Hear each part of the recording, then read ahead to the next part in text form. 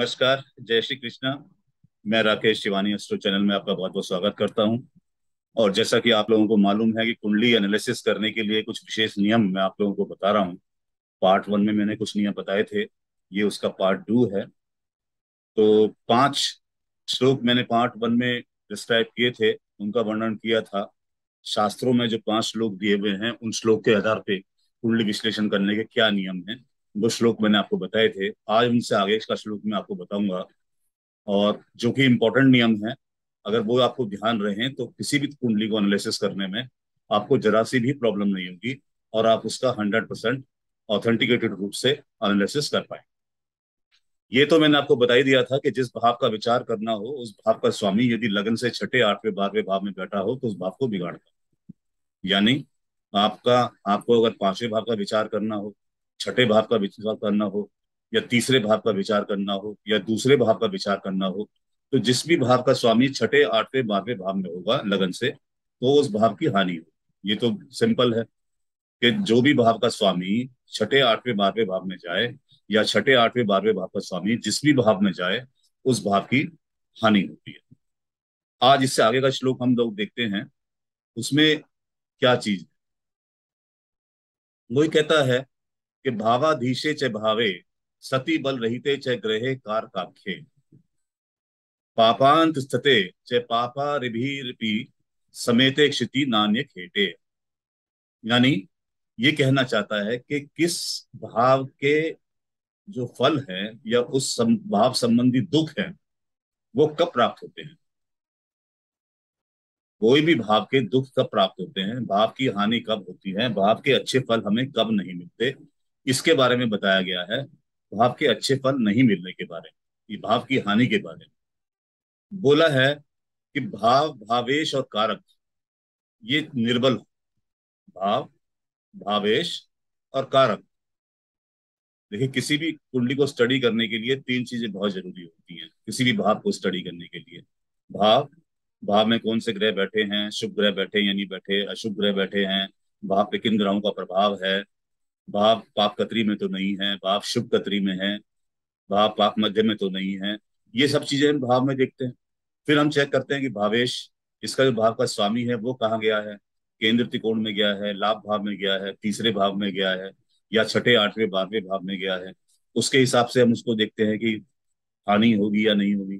फिर हम देखते हैं कारक। हर भाव का एक कारक होता है, स्थिर कारक होता है। जैसे पहले भाव का स्थिर कारक सूर्य है, दूसरे भाव का स्थिर कारक गुरु है।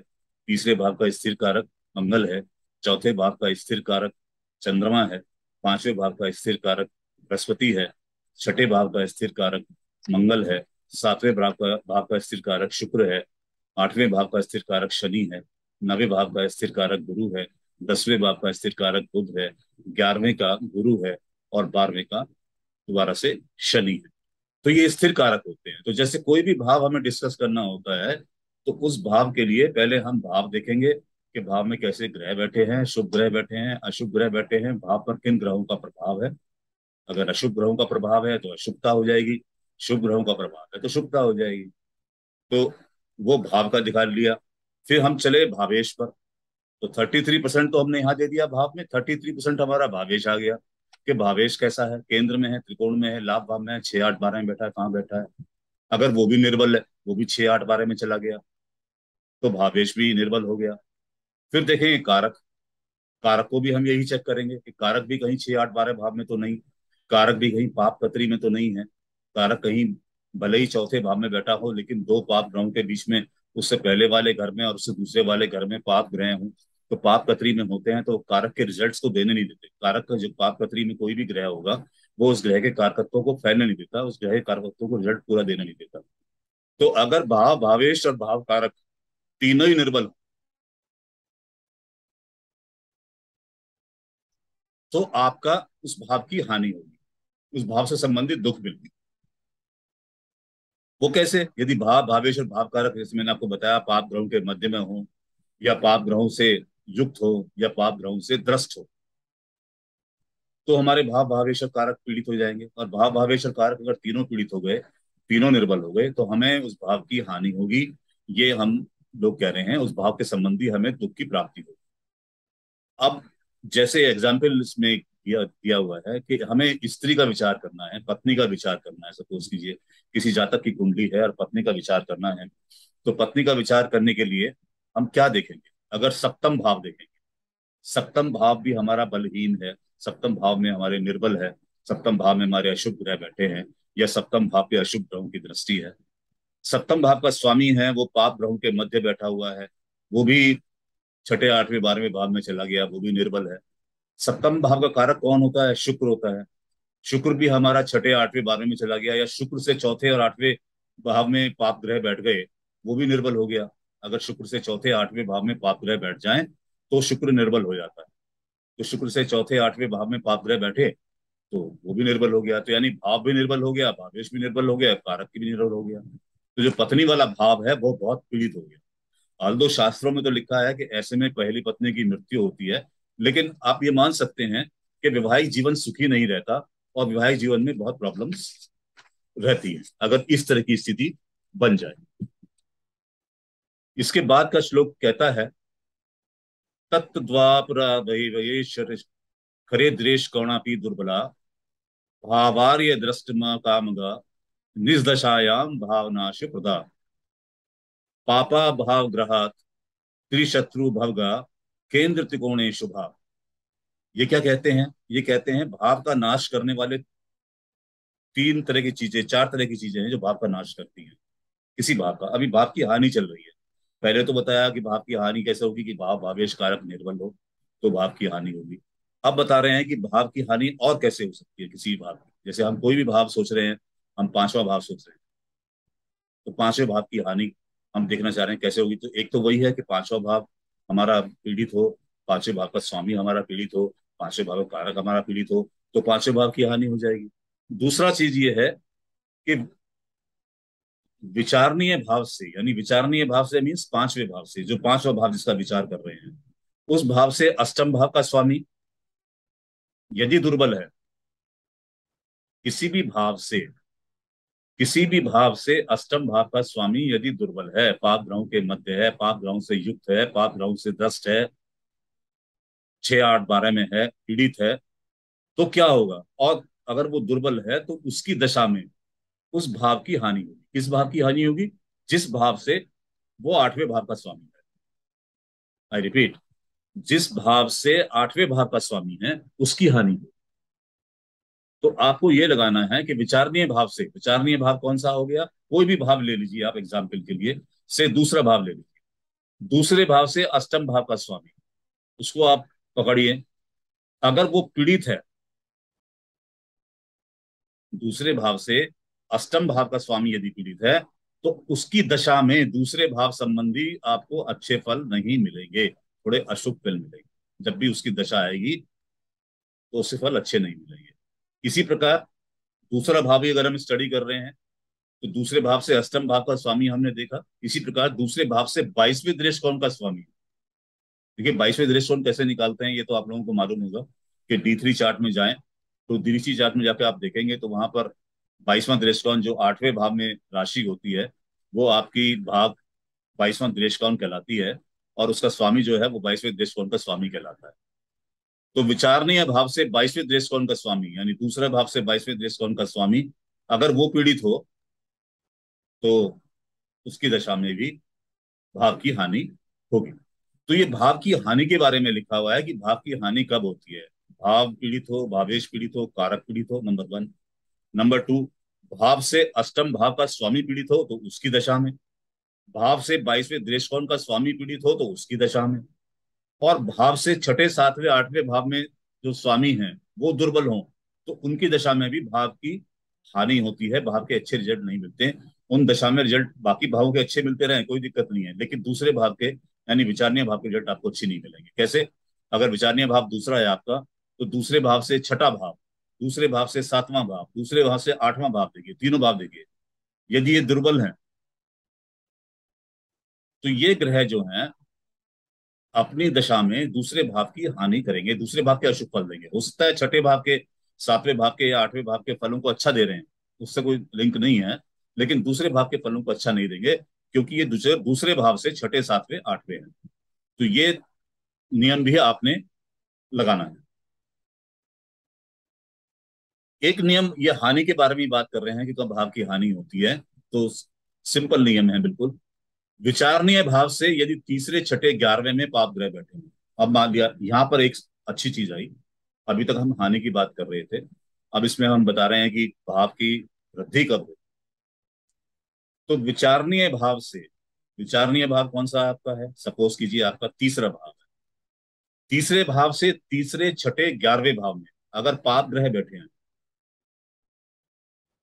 जिस भाव के रिजल्ट्स को आप जानना चाहते हैं उस भाव से तीसरे छठे ग्यारहवें भाव में अगर पाप ग्रह बैठे हों तो वो अपनी दशा में उस भाव की समृद्धि करेंगे।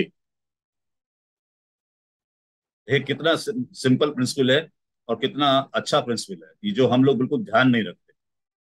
विचारणीय भाव से यदि तीसरे छठे ग्यारहवें भाव में पाप ग्रह बैठे हों, मंगल हो, शनि हो, सूर्य हो, राहु हो तो वो अपनी दशा में विचारणीय भाव की वृद्धि करते हैं।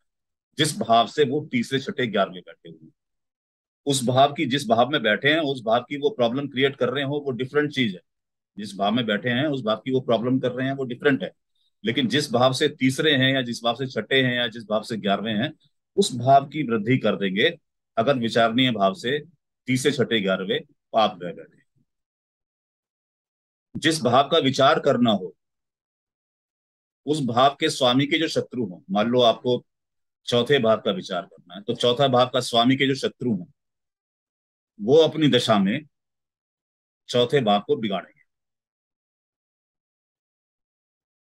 अगर आपको चौथे भाव का विचार करना है तो चौथे भाव के स्वामी के जो शत्रु हैं, वो अपनी दशा अंतर दशा में चौथे भाव के हानि करेंगे। सिंपल प्रिंसिपल है। इसमें क्या है, जैसे आपको इस कुंडली, ये कुंडली दिखाई हुई है। इस कुंडली में आपको लगन का विचार करना है। तो पाँच नंबर लगन है। पाँच नंबर लगन का मालिक होता है, लग्नेश होता है, सूर्य। और दशा है शनि की। शनि की दशा अंतरदशा है। तो सूर्य का मित्र नहीं है शनि।